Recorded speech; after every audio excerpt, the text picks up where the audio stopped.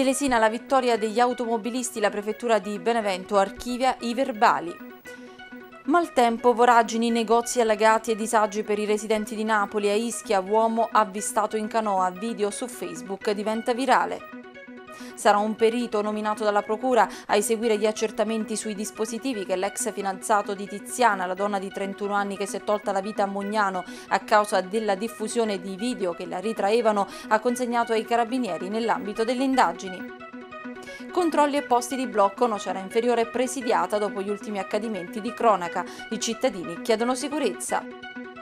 Appalti truccati al comune di Benevento, obbligo di dimora per l'ex dirigente Mancini. Appuntamento con lo sport e la solidarietà Baia Domizia il 18 settembre, ultima tappa del Giro d'Italia di handbike, la gara nazionale per atleti disabili.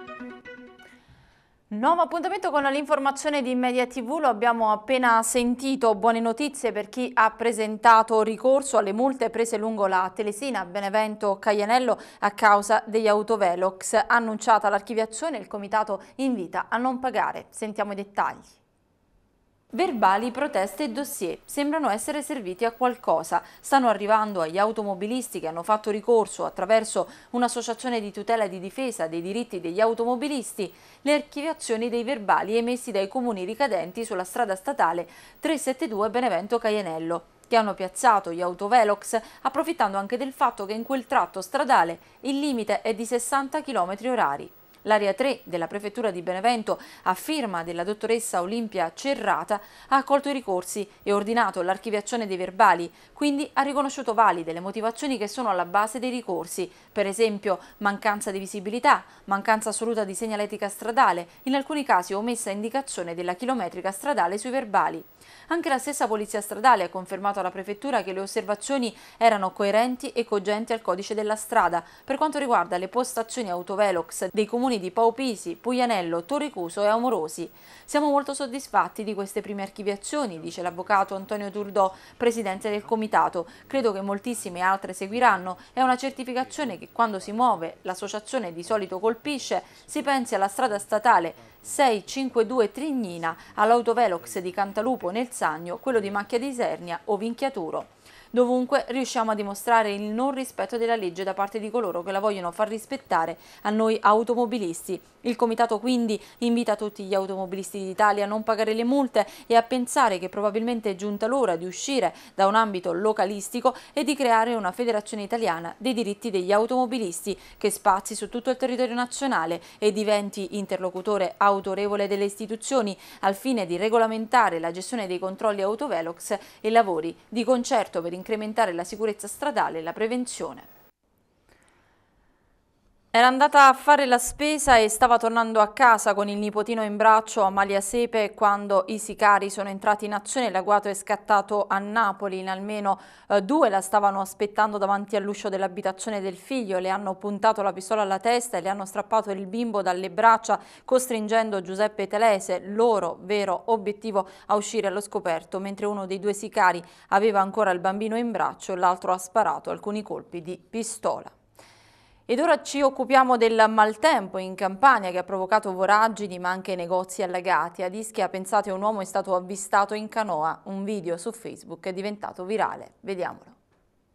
Il maltempo continua a non dare tregua, nubi fragi e bombe d'acqua si sono abbattuti sul centro Italia e la Sardegna, provocando allagamenti, disagi alla circolazione e feriti e la pioggia è caduta intensamente anche sulle zone terremotate delle Marche, dell'Umbria e del Lazio. Tra le città più colpite anche Napoli, in tilt il centralino dei vigili per le numerose chiamate giunte nelle ultime ore a causa del maltempo che si è abbattuto sulla città. Le forti piogge hanno provocato allagamenti e disagi in diverse zone, in particolare la maggior parte delle richieste di intervento giunge dalla zona Flegrea, mentre sono diversi i quartieri di Napoli dove l'acqua ha provocato allagamenti.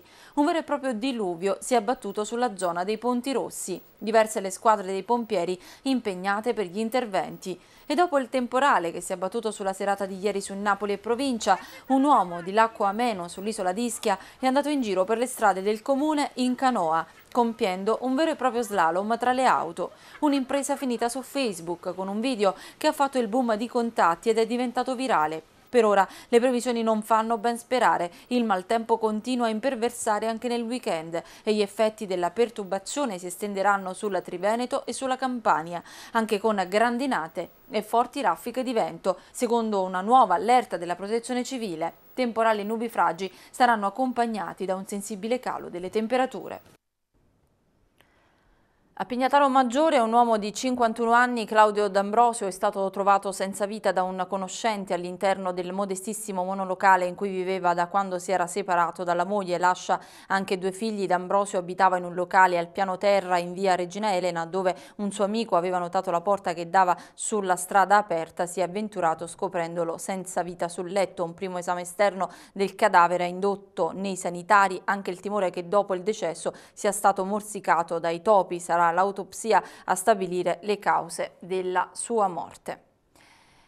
La Polizia di Stato di Caserta ha tratto in arresto un 38enne di Arzano per violazione della misura della sorveglianza speciale con l'obbligo di soggiorno. L'uomo è stato però anche denunciato assieme ad altri due concittadini di 31 e 17 anni per possesso ingiustificato di arnesi atti allo scasso.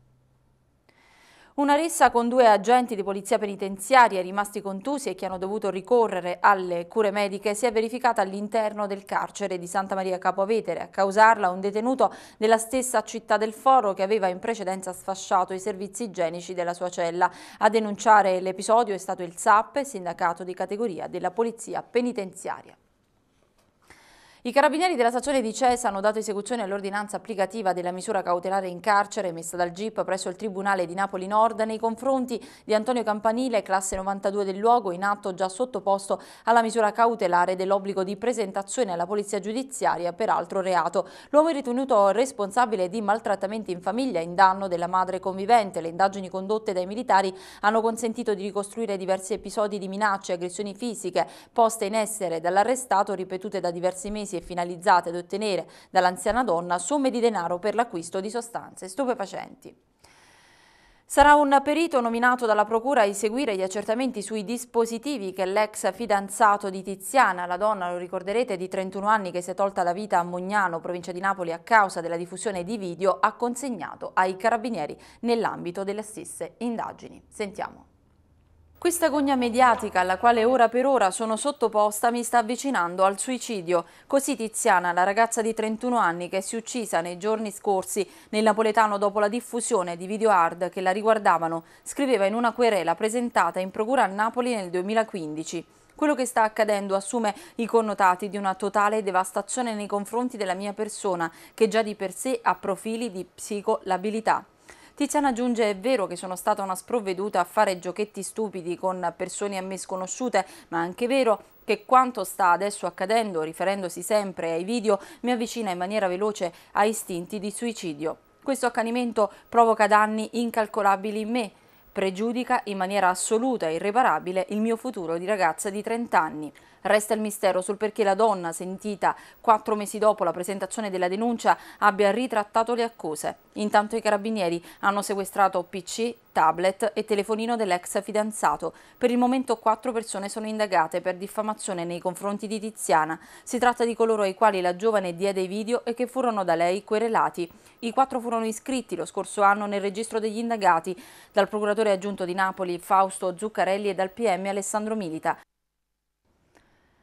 Attivisti dei movimenti napoletani del comparto della logistica e dei sindacati di base hanno manifestato, così come in altre città italiane, davanti alla sede della GLS di Marignanella a Napoli, dopo la morte dell'operaio investito da un tir durante un picchetto di sciopero a Piacenza. I manifestanti hanno esposto due striscioni con scritto «Ora ammazzateci tutti, abbiamo bloccato i tir in uscita a oltranza finché, si legge in un comunicato, non abbiamo ottenuto dai dirigenti aziendali di poter entrare nei capannoni a confrontare confrontarci coi tanti facchini di turno e distribuire loro volantini di denuncia. Illecita concorrenza nella gestione della Movida di Salerno è cospiegata l'aggressione a due promoter, organizzatori di feste. Sentiamo.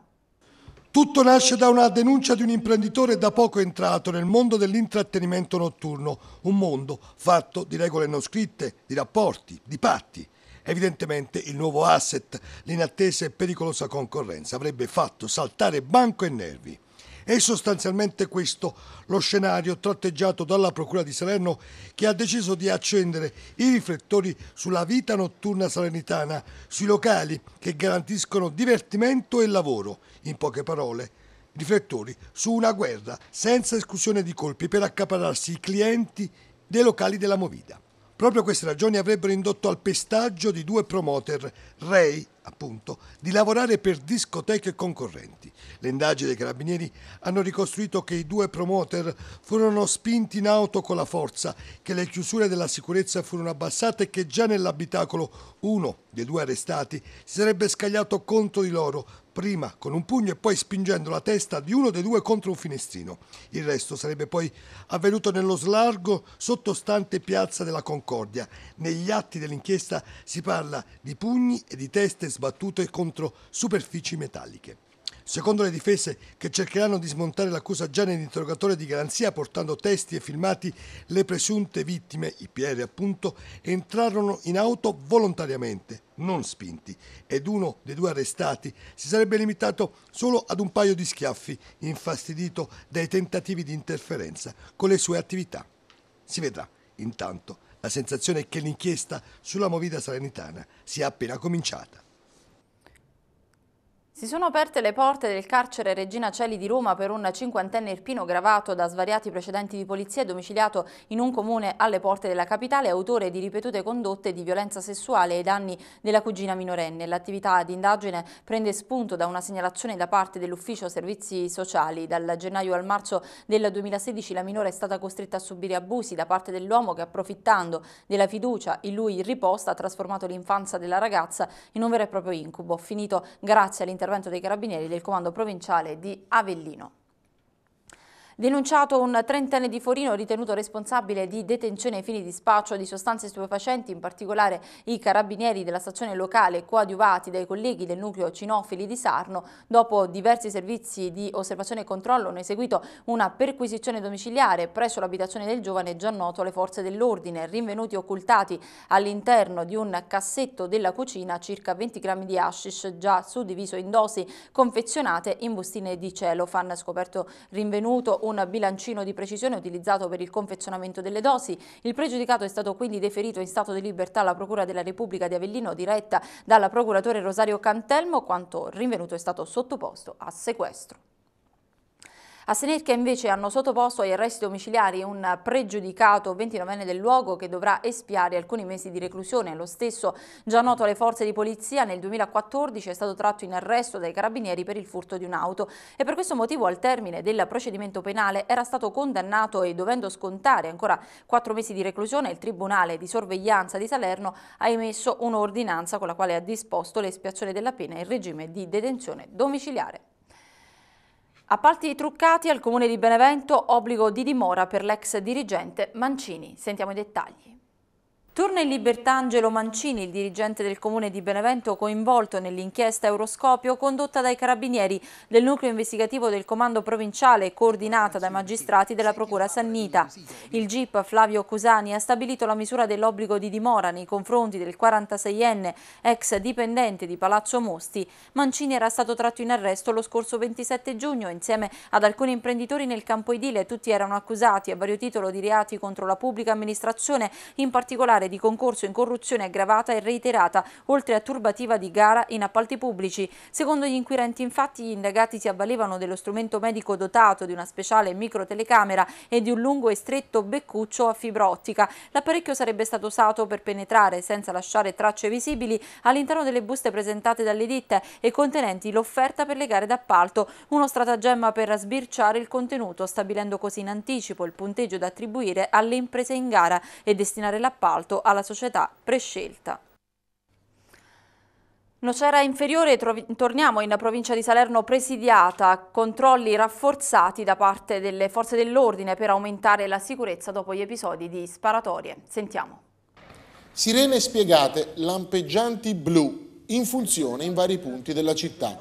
Nocera inferiore presidiata costantemente dalle forze dell'ordine. Ieri sera un'operazione interforze per effettuare controlli in diversi quartieri.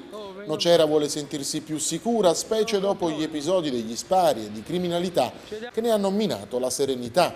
L'attività di controllo predisposta dall'amministrazione Torquato a tutela della sicurezza ha visto impegnati gli agenti della Polizia Municipale agli ordini del Maggiore Giuseppe Contaldi con la collaborazione di Polizia di Stato e Carabinieri. La lunga serata di controllo del territorio, durata tre ore, si è concretizzata con numerosi sopralluoghi effettuati anche in alcuni locali di intrattenimento per verificare la regolarità delle licenze d'esercizio per l'occupazione del suolo pubblico e le autorizzazioni per la diffusione di musica. Dunque tre ore di intenso lavoro, durante le quali sono stati controllati 24 veicoli, 30 persone, elevate 5 contravvenzioni per violazione del codice della strada, ritirata una patente. I controlli nei locali notturni hanno portato a tre specifiche sanzioni amministrative, due per l'occupazione di suolo pubblico, una per la non regolarità dell'autorizzazione di diffusione musicale. In questo fine settimana i controlli si ripeteranno, così come aveva chiesto espressamente il sindaco Torquato dopo l'incontro con il prefetto di Salerno Salvatore Malfi e al quale presero parte anche esponenti delle forze dell'ordine locali.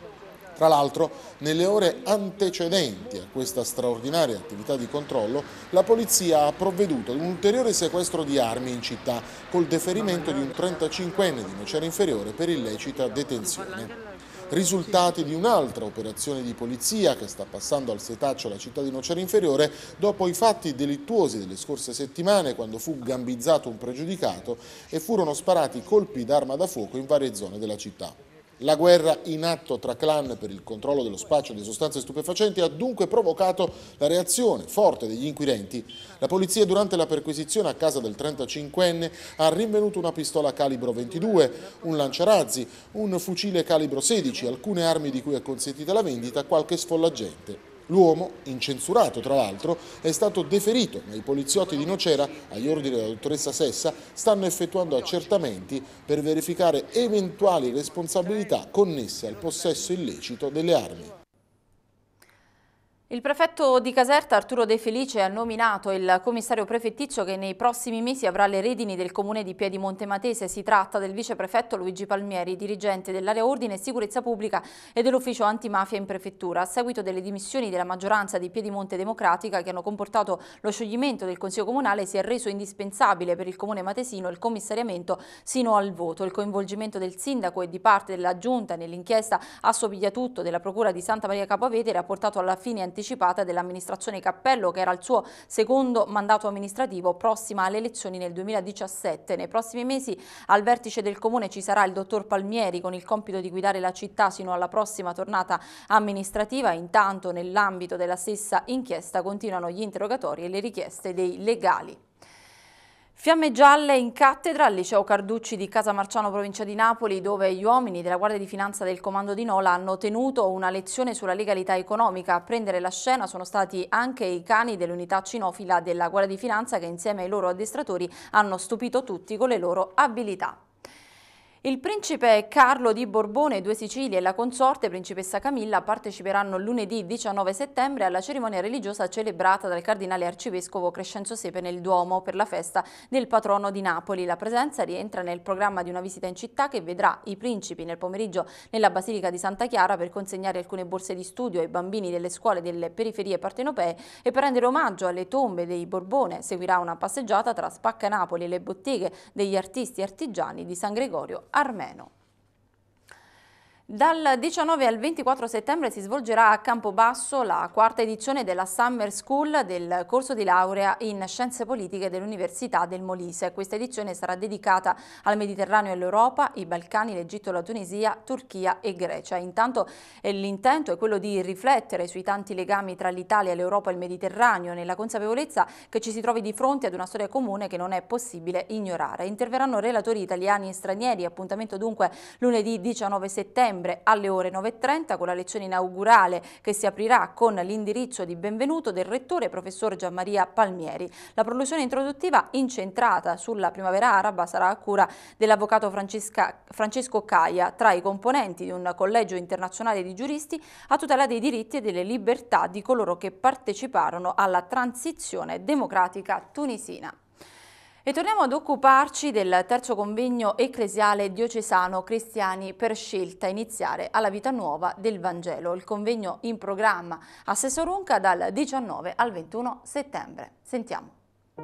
A Sessa Orunca dal 19 al 21 settembre i lavori del terzo convegno ecclesiale diocesano sul tema Cristiani per scelta iniziare alla vita nuova del Vangelo. Alle ore 18 presso l'auditorium diocesano Papa Francesco il primo giorno interverrà Monsignor Paolo Sartor, direttore dell'Ufficio Catechistico Nazionale CEI. La seconda giornata vedrà i convegnisti impegnati nei laboratori pastorali. Incontrare Papa Francesco, ascoltare la sua voce, Vivere la celebrazione alla cattedra di Pietro per confermare la fede. Abbiamo sempre più bisogno di trasformare la fede in misericordia, proprio perché la misericordia esprime la fede non solo in Dio, ma è anche la fiducia che Dio ripone in noi come strumento della sua misericordia.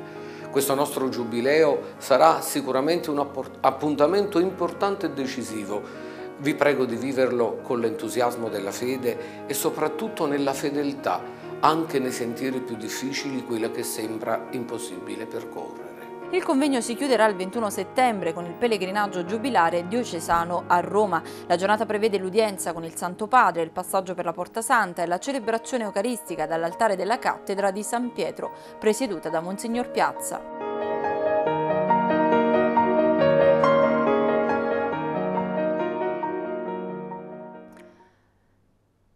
E restiamo proprio a Sesso Runca dove domenica ci sarà un appuntamento con lo sport e la disabilità. Baia Domizia ospiterà infatti l'ultima tappa del Giro d'Italia di Handbike, la gara nazionale per atleti disabili. Sentiamo.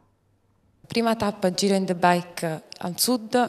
Eccellenza, la diocesi accompagna questo viaggio, questa nuova eh, esperienza per il sud? Sicuramente sono due i motivi per cui la diocesi sostiene e perché no garantisce una presenza significativa.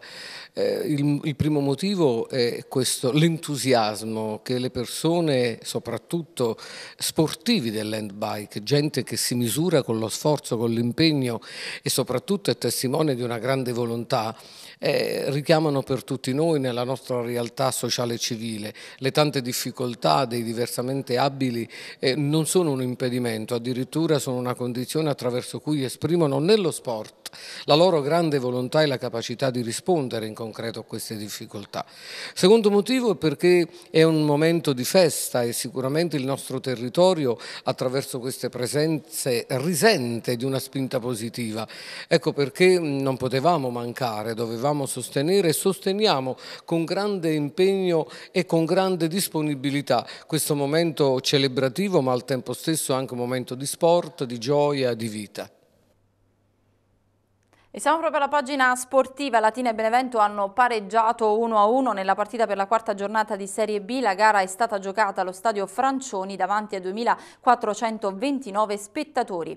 Grazie ad un primo tempo scoppiettante il Verona supera con disinvoltura l'Avellino al Bentegodi chiudendo il match 3-1. Nella ripresa il Verona cerca di amministrare il poker, soprattutto con conclusioni di Ganz. A Salerno sorride solo il Vicenza che ottiene la prima vittoria in campionato rifilando tre reti Uniti ed una Salernitana ancora alla ricerca di una propria identità. Lega Pro Girone C, il prefetto di Lecce in occasione della gara Lecce-Casertana in programma allo stadio Via del Mare di Lecce domenica 18 settembre alle ore 20.30 ha disputato e ha disposto il divieto di vendita dei tagliandi ai residenti in Regione Campania. L'ordinanza arriva dopo che il Comitato di Analisi per la Sicurezza delle Manifestazioni Sportive aveva posto all'attenzione del prefetto l'incontro indicato per le criticità poste in essere dalle tifoserie, suggerendo proprio il divieto di vendita dei tagliandi ai residenti campani. Ed era questa l'ultima notizia, vi lascio in compagnia delle previsioni del tempo. A voi tutti una buona domenica, arrivederci.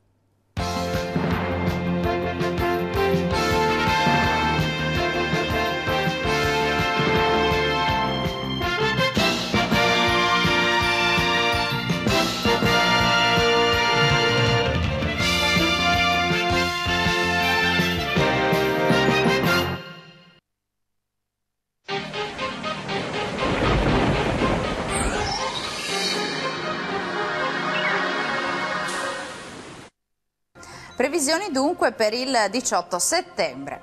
I temporali si spostano al sud e insistono ancora su parte del centro. Bel tempo invece al nord. Ecco il dettaglio realizzato da ilmeteo.it. Al nord, come detto, avremo una bella giornata con cielo sereno o poco nuvoloso su tutte le nostre regioni. Spostiamoci al centro, temporali pomeridiani possibili su Abruzzo, Molise, Lazio e Marche meridionali, decisamente più soleggiato altrove e in Sardegna.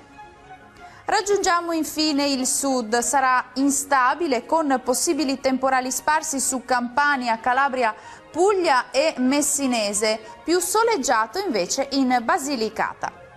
I venti saranno da nord su tutti i bacini molto forti sul medio Adriatico. Temperature previste per questa giornata. Minime che risultano essere in ulteriore diminuzione al nord con clima decisamente molto fresco, un po' più stazionarie altrove. Durante il giorno prevediamo 22-27 gradi al nord, 20-28 gradi al centro e non più di 26 gradi al sud.